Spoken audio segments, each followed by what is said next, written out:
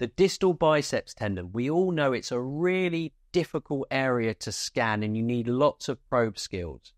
So get your ultrasound machine and I'm going to take you through a step by step guide of how to get a really good image of the distal biceps tendon. Okay, here we go. So patient is supine, nice and relaxed, elbow is extended, and I'm also just going to laterally rotate the shoulder, but more importantly, supinate the wrist as much as possible. So the hand is just hanging into that nice position. Now, left side of the screen is now left side here. So what we're going to do, the first thing is to start up at the muscle belly, and you can watch the biceps tendon forming and you see it's superficial. Now, most people have no problem finding that whatsoever.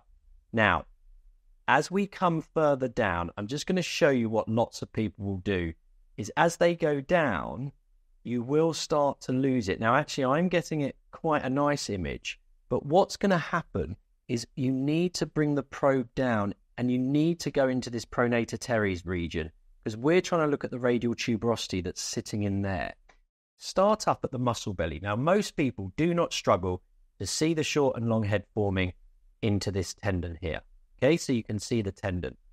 Now, when you follow it down, just start to move slightly medially. And as you do that, you will come to the side of the screen. Now, if you can't find it, you can use your anisotropy to find it. Okay, so nice and bright tendon there as we go down, just move medially, but then you've got to do this. What you've got to do is heel down the probe just a little bit as you're coming down, and you can see the tendon here as it goes on to the radial tuberosity. So we'll follow it all the way up.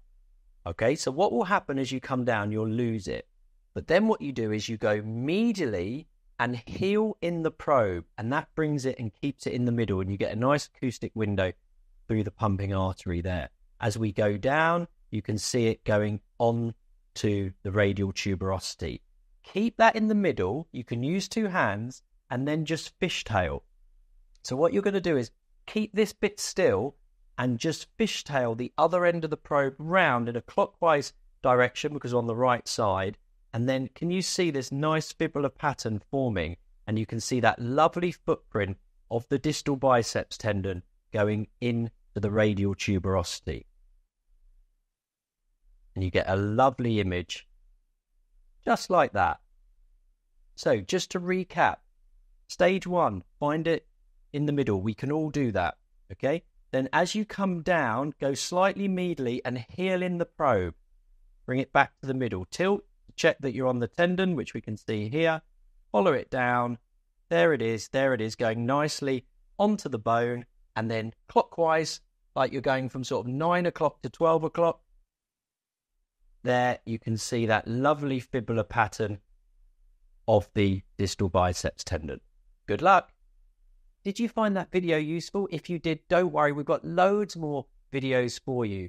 You can like our videos, you can make a comment, you can subscribe to our channel to get all of our new videos, and you can even join our membership.